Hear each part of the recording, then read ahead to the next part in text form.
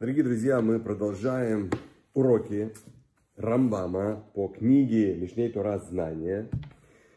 И мы продолжаем пятую главу фундаментальных законов Торы. Начнем с первого пункта 5.1. Всему дому Израиля дана заповедь освящать имя великое. Описано выше, как сказано.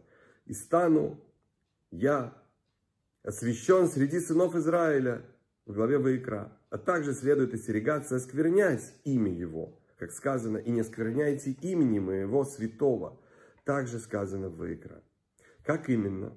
Если язычник будет заставлять еврея нарушить одну из заповедей Торы, угрожая убить, пусть нарушит и не погибнет, как сказано о заповедях, которые человек будет исполнять и жить ими. Также в главе Ваикра. И жить ими, но не умрет из-за них. И если умер, не нарушил, то он в ответе за душу свою.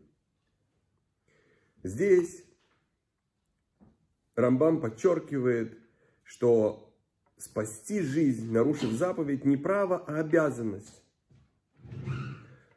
Пункт 5.2. О чем идет речь? Обо всех заповедях, за исключением идолопоклонства, запрещенных половых связей и убийства – но эти три заповеди, если скажут ему, наруши одну из них или будешь убит, то пусть погибнет, но не нарушит. О чем идет речь? О случае, когда инородец,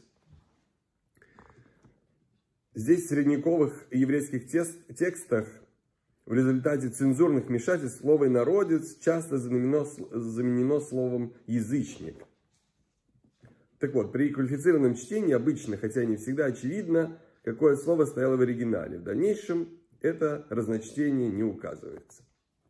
Так вот, если когда инородец, инородец преследует собственную выгоду, например, заставляет строить себе дом в субботу, или варить ему пищу, или заставляет женщину возлечь с ним и тому подобное, когда же он стремится лишь заставить еврея нарушить заповедь, то если дело происходит не публично и не в присутствии десяти евреев, пусть нарушит и не погибнет – а если заставляет нарушить заповедь в присутствии десяти евреев, пусть погибнет, но не нарушит. Даже если нарушить, нарушить он заставляет одну из остальных заповедей.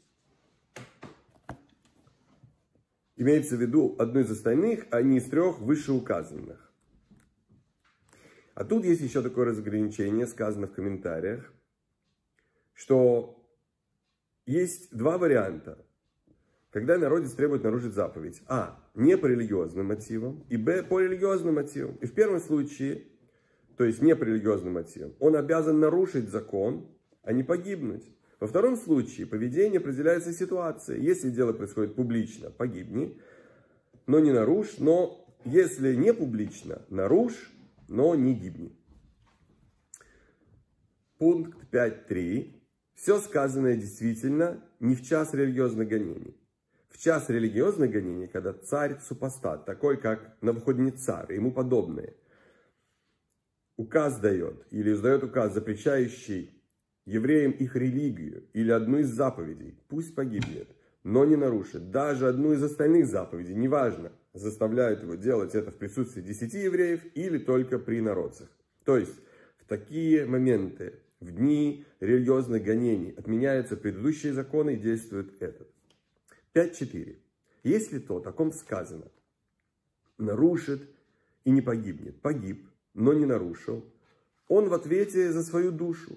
Если то, о ком сказано, погибнет, но не нарушит, погиб, но не нарушил, он осветил имя, имя Всевышнего. Если это произошло в присутствии десяти из Израиля, то он публично осветил имя, как Даниэль, Ханания, Мишаэль и Азария, и как Раби Акива и его товарищи.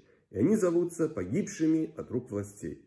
И они превыше всякого возвышения. И о них сказано, из-за тебя убивают нас все время, считают нас овцами на заклание, сказано в Тагилим 44, 23. И о них сказано, соберите преданных мне, то есть Всевышнему, заключивших со мной, то есть с ним союз, на перу жертвенном. Сказано в Тагилим 55.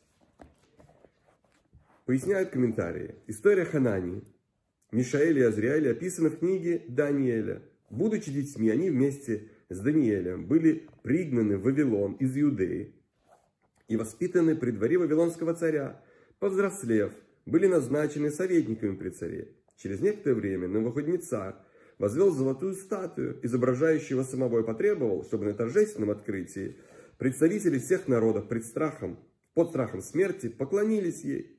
Ханани и его друзья отказались, за что были брошены в раскаленную печь. Но в огне возник ангел и оградил их от пламени, и они вышли из печи невредимыми. Новоходницар под впечатлением от случившегося издал указ, запрещающий возводить хулу на Бога Израиля или оказывать ему неуважение. Спасибо за внимание. Замечательной новой недели.